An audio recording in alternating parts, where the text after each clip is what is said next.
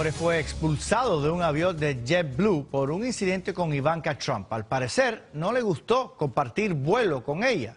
Al verla a bordo de la aeronave que estaba por despegar de Nueva York rumbo a San Francisco, la confrontó. Ella estaba con su esposo y sus pequeños hijos y le dijo que su padre, el presidente electo, estaba arruinando al país. También le dijo que ella debería estar usando un vuelo privado. La tripulación escuchó a todo esto que estaba diciendo este hombre decidió sacarlo del avión y ponerlo en otro vuelo.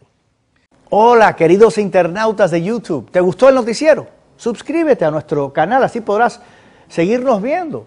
Haz clic en este botón de suscribir y no tendrás que ver videos de mala calidad en otros canales nunca más. También puedes entrar a telemundo.com y ver nuestros reportajes. ¿Qué esperas?